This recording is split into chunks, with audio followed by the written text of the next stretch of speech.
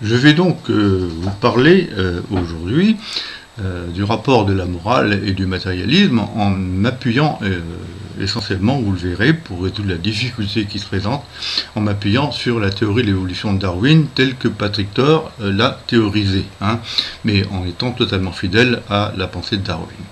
Alors, euh, d'abord, la question de la morale euh, au sein du matérialisme, effectivement, peut faire problème, mais il fait problème, même, ou peut faire problème, mais en tout cas, il faut commencer par distinguer la morale et l'éthique, parce que l'éthique ne fait pas problème du tout. Hein. Alors, euh, l'éthique, le meilleur penseur de l'éthique, d'ailleurs, j'en profite pour vous le dire, c'est Nietzsche, hein, qui a refusé la notion de morale euh, en l'attribuant à la vie des faibles, et aux faibles en tant qu'ils exprimaient leur, leur, vie faible dans euh, la morale précisément, par opposition à la vie forte qui s'exprime dans des valeurs alors, spécifiquement éthiques, hein, et qui sont, disons, alors c'est ça qui est important, qui sont à la fois multiples, hein, il disait qu'il y a de multiples fins hein, que nous valorisons, etc., et, qui sont en même temps euh, facultatives. Hein. Personne n'est obligé d'adhérer aux valeurs euh, liées à la vie que Nietzsche préconisait, ou que nous-mêmes nous pouvons préconiser, hein, que ce soit le travail plutôt que le sport, le divertissement euh, artistique plutôt que le divertissement, si vous voulez, intellectuel, etc. etc. Bon, alors ça c'est la question de, l'éthique, hein. euh, alors que la morale, elle, euh, se présente d'une manière tout à fait différente. Hein. La morale a affaire à des valeurs euh, qui sont universelles, Hein, et qui, euh, loin d'être issue de la vie apparemment, euh, s'impose à la vie. Hein. et elle préconise donc des, valeurs euh, visant le respect de la personne humaine, de toute personne humaine, et donc de l'humanité dans son ensemble, et en même temps, la morale s'impose à nous sous la forme d'impératif, sous la forme d'obligation. Hein. Or, impératif et obligation supposent bien évidemment un sujet libre euh, qui fait problème dans le cadre du matérialisme et j'ai eu l'occasion de le signaler. Hein, c'est pour ça que la question euh, de savoir comment penser la morale dans le champ du matérialisme est une vraie question fondamentale hein, à laquelle il faut euh, apporter une solution. Alors je rappellerai d'abord que j'ai déjà distingué morale et éthique, hein, mais qu'il y a des penseurs contemporains qui se sont, disons, consacrés à cette tâche, à leur manière, je dirais, de penser les valeurs dans le champ du matérialisme. Euh, je vais en donner deux exemples, hein, du matérialisme et du rationalisme d'ailleurs. Hein. Il y en a un qui s'agit de, John Dewey, qui est un philosophe américain, euh, qui a écrit un livre très important parce que il a son titre comporte la référence darwinisme. C'est la philosophie sous l'influence du darwinisme, une chose comme ça. Vous voyez, c'est assez extraordinaire. Hein. Et par ailleurs, il a écrit un livre qui s'appelle La formation des valeurs, où il enracine les valeurs dans les désirs humains ou dans les intérêts. Hein. Euh, mais du coup, comme il s'enracine dans des désirs et des intérêts, il refuse de les qualifier de morale. Hein. Ce sont des valeurs qui sont au service de nos désirs et elles sont à caractère éthique. C'est le cas aussi de Bertrand Russell, qui a écrit un livre qui s'intitule L'éthique et politique, et non pas morale et politique, où lui aussi euh, très proche de Dewey d'ailleurs, hein, euh, enracine euh, les valeurs dont il se réclame euh, dans la vie humaine, hein, dans nos désirs, donc dans nos intérêts, et donc il refuse le concept de morale. Mais il se trouve que ces deux penseurs se sont trouvés confrontés à une idée importante, à une difficulté importante, qui est que nos désirs et nos intérêts, dans le champ politique en particulier, mais aussi dans le champ interindividuel, hein, doivent bien entendu s'accorder les uns aux autres, de façon à ce que nous ne lésions pas les autres et que les autres ne nous laissent pas. Or, cet accord, bien entendu, va s'imposer aux désirs et euh, aux intérêts, de façon à les maîtriser, les réguler, dans une perspective qu'il faut bien dire morale. Alors, ils reconnaissent eux-mêmes hein, que, euh, in fine, tout à la fin de la réflexion, tous les deux, hein, qu'il y a là quelque chose qui échappe à leur problématique, hein, qui consiste à enraciner les valeurs dans la simple dimension de l'éthique. Et par ailleurs, je vous signale quand même, c'est quand même, vous devez le deviner, euh, c'est que quelqu'un comme Spinoza, qui est un penseur proche du matérialisme, hein, parce que l'homme pour lui est un être de la nature qui appartient à ce qu'on appelle, la nature naturée. Hein. donc c'est un être qui est soumis au déterminisme global de la nature, qui n'a pas de libre arbitre. Hein. et pourtant, euh, quelqu'un comme euh, Spinoza va nous proposer donc des valeurs, mais à caractère éthique. Il n'a pas écrit une morale, il a écrit une éthique. et dans cette éthique, il nous propose des valeurs une valeur très concrète, hein, qui est le bonheur, tout simplement, hein, lié à la satisfaction des désirs, dans la mesure où ils sont compatibles avec l'expansion du conatus de chacun, hein. mais on est bien dans le champ, euh, si vous voulez, de l'éthique, si vous voulez, et non pas de la morale, qui supposerait un libre arbitre qu'il récuse. Voilà. Alors, euh, une fois qu'on a dit cela, il va falloir donc se confronter à la question de la morale dans le champ du matérialisme. Bon. Alors, bien entendu, pour penser cela, je vais être obligé hein, de me référer à celui dont je pense qu'il est le fondateur, en quelque sorte scientifique, du matérialisme philosophique, à savoir Darwin, hein, dont j'ai déjà parlé, et pour qui l'homme est un produit de la nature et donc une forme hein, de la nature. Alors, comment penser dans ce contexte-là, qui est celui de la théorie de l'évolution de Darwin, euh, l'existence même de la morale Hein, parce que la morale euh, ne vient pas simplement de la vie naturelle, puis ça s'impose à elle, si vous voulez. Hein? Alors comment peut-on penser que la vie va produire quelque chose qui va nous aider à la maîtriser et à la réguler dans un sens qu'on qualifiera donc de morale? Alors, il faut savoir que Darwin lui-même hein, euh, a abordé cette question. Parce qu'il y a en réalité deux Darwin. Le premier Darwin, euh, c'est celui qui a écrit La descendance, l'origine des espèces, excusez-moi, hein, euh, qui n'est consacré qu'à la vie telle qu'elle se développe dans le règne euh, végétal et animal, sur la base de ce qu'il appelle la sélection naturelle, un thème qui serait connu, et qui consiste à constater Hein, que dans le champ de la vie, en particulier animale, hein, et dans le champ de l'adaptation au milieu et de la maîtrise du milieu externe, il y a des forts et des faibles. Hein. et les forts, euh, pour euh, pouvoir assurer leur prééminence, ont éliminé les faibles sur la base de ce que donc Darwin appelle la sélection naturelle, euh, qui fait un peu penser, d'ailleurs, je vous signale, à, disons, au combat des forts contre les faibles chez quelqu'un comme, comme Nietzsche. et pourtant, on est dans un tout autre contexte. Donc, sélection naturelle, qui, bien entendu, euh, fait que euh, la vie euh, interanimale, c'est une vie qu'on ne peut pas qualifier à un seul instant de morale, hein, même s'il peut y avoir des, éléments de conduite, des micro-éléments de conduite qui pourraient faire penser, disons, à, ce qui va advenir avec l'homme. Hein. Alors, comment est-ce qu'on va pouvoir arriver à penser la morale. Parce qu'il faut savoir que ce Darwin-là, hein, le Darwin donc de l'origine de d'espèce, euh, s'est arrêté à la porte de l'homme. Hein. Il a refusé d'aller au-delà dans le premier lieu. Mais il y a euh, ce qu'on ignore souvent, ce qui a été souvent occulté.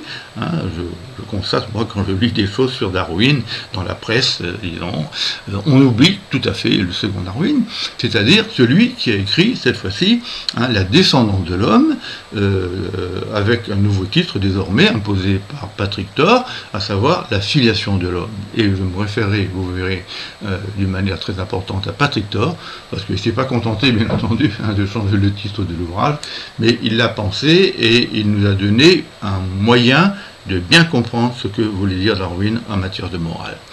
Alors, dans, euh, je reviens à Darwin lui-même, dans euh, donc euh, ce nouveau livre, hein, euh, La filiation de l'homme, Darwin reconnaît lui-même d'emblée, hein, dans des chapitres importants, qu'il euh, se trouve confronté à une sacrée difficulté, parce qu'il se réfère à Kant, dont il reconnaît avec admiration la manière dont il a pensé la morale, pour un homme qui est parvenu à un degré d'évolution intellectuelle et morale qui le dote de qualités éminentes. Hein.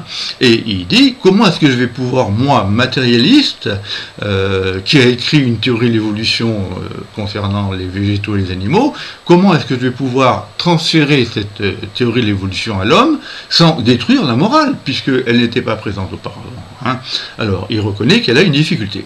Il développe son analyse et arrivé à la fin de son analyse, il dit, ben voilà, je vous ai fait comprendre comment on peut penser la morale dans le cadre d'une théorie matérialiste de l'évolution et comment l'homme a le droit, intellectuellement, de mon point de vue à moi, de dire qu'il y a une dignité hein, humaine que je dois reconnaître en moi-même et en autrui et un propos pareil, c'est un propos de morale, hein, et qui, par conséquent, justifie, euh, en quelque sorte, hein, euh, ce, que, euh, ce que Darwin appelle le sens moral. Bon. Alors, comment penser la production de cette morale hein, dans le détail. Et le meilleur moyen de le faire, c'est de partir de la manière dont Patrick Thor l'a exposé, hein, parce que Patrick Thor, c'est incontestablement aujourd'hui le plus grand théoricien hein, du darwinisme et de la morale, qui a été sa préoccupation, à mon avis, fondamentale. Il a écrit un dictionnaire de euh, l'évolution, du darwinisme et de l'évolution, euh, qui fait autorité. Il a écrit toute une série d'ouvrages sur le... Euh, ce même thème, euh, dans le cadre de colloques auxquels j'ai participé, j'ai participé aussi au dictionnaire d'ailleurs, et euh, il a écrit récemment un grand livre hein, sur le matérialisme, euh, dans lequel il discute avec moi sur la question de la morale précisément. Hein. Alors, comment faire pour penser la production naturelle de la morale, c'est-à-dire d'une instance qui, tout en étant issue de la vie naturelle, va s'opposer aux excès de cette vie naturelle? Alors, il faut partir de l'idée première que, au début de l'évolution, donc à l'époque où l'humanité était à son âge préhistorique ou, euh, à peine historique, si vous voulez, euh, l'humanité était déjà dotée hein, d'un certain nombre d'éléments embryonnaires, mais euh, réels quand même, hein, qui font penser à des éléments moraux, c'est-à-dire la sympathie hein, pour autrui, le fait par exemple de la pitié, qui fait que face à un blessé, l'homme va venir en aide à l'homme, ce qui ne se fait pas dans le champ euh, animal, hein. des éléments aussi de raison qui vont se mettre en place progressivement pour pouvoir euh, trouver les moyens de venir en aide aux autres, etc. Hein. Et euh, donc on est déjà dans, un domaine d'évolution qui tranche avec ce qui s'est passé, ce qui se passait au niveau animal, parce qu'au niveau animal, tous ces éléments-là étaient extrêmement discrets hein, et n'avaient pas cette importance qu'ils commencent à avoir chez l'homme. Bon, alors il se trouve que euh, ces éléments, ce qui caractérise l'histoire humaine au début, c'est que ces éléments ont un champ d'extension extrêmement réduit. Ça concerne les proches, ça concerne la famille, ça concerne la tribu, mais ça ne va pas plus loin. Sauf que euh, il se trouve que l'humanité euh, évolue, se transforme. Et elle se transforme grâce à ce qu'on appelle la civilisation. Et c'est dans le cadre des progrès de la civilisation que de nouvelles euh, transformations vont affecter la vie humaine, euh, qui vont permettre de comprendre l'arrivée, la constitution de la morale chez l'homme. Et là, il faut se référer euh, à la manière dont Patrick Thor, si vous voulez, s'est efforcé de penser ce phénomène, et il l'a pensé en termes euh, d'émergence. Hein. La morale va émerger grâce à la civilisation, et il va en faire, euh, d'abord, avant de parler d'émergence, il va en faire un effet réversif de l'évolution. Alors, effet réversif de l'évolution, ça veut dire que cette évolution, si vous voulez, ne va pas se contenter de répéter euh, ce qu'elle était auparavant. L'évolution euh, va donner naissance donc à la civilisation, cette civilisation euh, qui donc s'ouvre sur l'universel, et du coup cette civilisation va entraîner les êtres humains, si vous voulez, à s'entendre et donc à réduire la sélection naturelle qui prédominait chez les animaux. Et progressivement, elle va euh, produire une entente interhumaine hein, qui est le contraire précisément de la sélection naturelle. Et dans un de ses livres, Patrick Thor, euh, d'une manière tout à fait juste, hein, euh, c'est en sous-titre de son livre, Patrick Thor va signaler que l'évolution produit la civilisation à travers la sélection naturelle, mais une civilisation qui va s'opposer à la sélection naturelle. Hein. Donc on a une, inversion, en quelque sorte, du processus évolutif, à partir même de sa dimension évolutive. Bon, alors, il va appeler ça, tout simplement, euh, si je puis dire, hein, mais encore fallait-il trouver le concept, hein, il va appeler ça un phénomène d'émergence. C'est-à-dire que euh, avec l'évolution de la civilisation, les phénomènes qui étaient réduits d'entraide, hein, de sympathie, euh, de secours à celui qui est blessé, etc., vont s'étendre progressivement à l'ensemble de l'humanité, hein, euh, par étapes successives, alors bien entendu avec parfois des arrêts, parfois des, légères régressions, hein, mais sur le long terme, c'est bien cela qui se passe. il suffit de constater ce qui s'est passé dans l'histoire euh, pour en avoir conscience. Hein, pensez tout simplement euh, à l'abolition de l'esclavage et euh, ensuite à l'apparition des droits de l'homme avec la Révolution française. Hein. Il y a bien là un processus hein, de transformation de l'humanité qui, qui se passe à l'intérieur d'une évolution qui est une évolution à la fois naturelle et civilisationnelle. Alors, ce qu'il faut bien comprendre, c'est que cet effet d'émergence, si vous voulez, est un effet qui donc résulte de l'évolution tout en s'opposant à l'évolution. Euh, alors, on peut dire la chose euh, d'une autre manière, c'est qu'il y a là, euh, comment vous dire, l'apparition de quelque chose qui est qualitativement différent de ce qu'il y avait auparavant, bon, qui en est issu, hein, et qui en même temps s'y oppose c'est ce que Patrick Thor appelle un effet d'émergence dans le cadre d'un déterminisme euh, évolutif qui est un déterminisme, hein, mais un déterminisme transformateur, modificateur, évolutif précisément. Hein. Alors, euh, l'émergence, c'est donc, chez Patrick Thor, euh, un mix de continuité évolutive et de discontinuité évolutive. Continuité, parce qu'on est dans un champ naturel immanent hein, auquel on ne peut pas échapper, mais discontinuité, parce que ce qui va résulter euh, du processus évolutif, ça sera un processus euh, précisément euh, nouveau, inédit, hein, qui sera à la fois différent de ce qui précède, s'opposer à lui tout en en étant issu.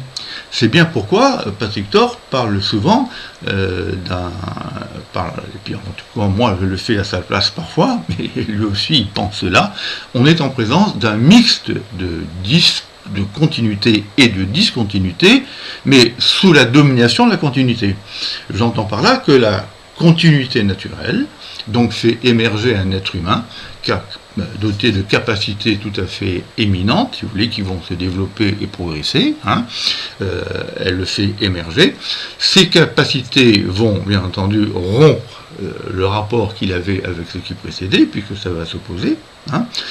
La, vie va produire une instance qui va s'opposer aux excès de la vie, et en même temps, cet effet d'émergence, hein, il est une conséquence de ce qui précède grâce à la productivité euh, de l'évolution, euh, dans les détails de laquelle je n'entre pas, mais euh, que l'on peut aussi développer à l'aide de, biologistes sur lesquels Patrick Thor s'appuie, dont Faustino Cardone et Concilios, deux biologistes espagnols hein, qui ont apporté des, preuves en quelque sorte physiologiques, physico-chimiques hein, à ce processus évolutif.